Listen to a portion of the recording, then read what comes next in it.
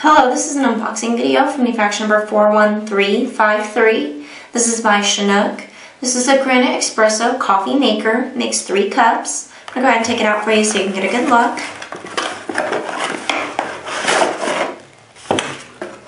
Here you have information on your warranty.